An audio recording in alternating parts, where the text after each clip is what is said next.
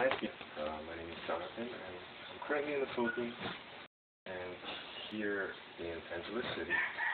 Um, right now, I'm looking at something that I found interesting. I just woke up and we're about to cook um, something, and I saw this in the sink, and um, you'd probably be interested in what it is.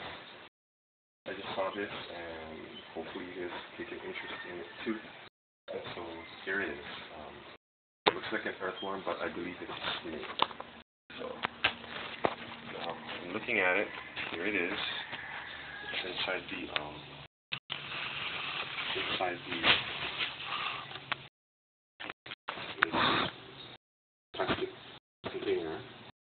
And it was in here when I came to the so it moves like a snake. It has an upright position. Um, it flip itself over. I have a feeling there is an underside to this. Um, when I look closely, um, it, it has this brownish red scales. Uh, very tiny scales, by the way. And uh, you'd be interested that you can actually even um, try to get it down in the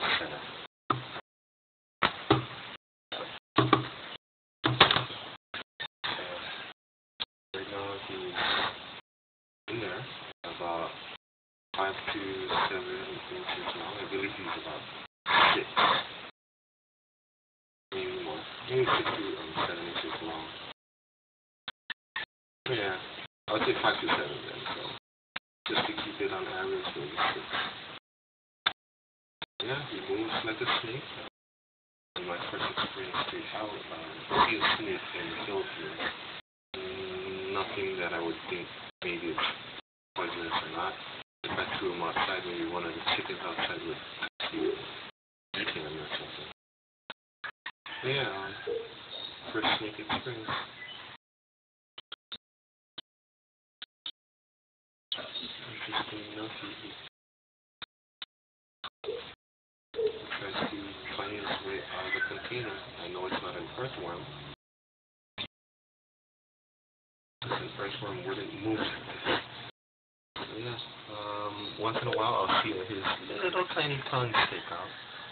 Um, I don't see his eyes, so I have a feeling he's like some sort of burrowing type, like underground, under soil kind of snake.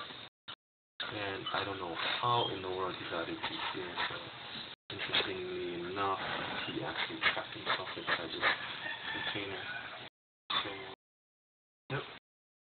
Snake experience.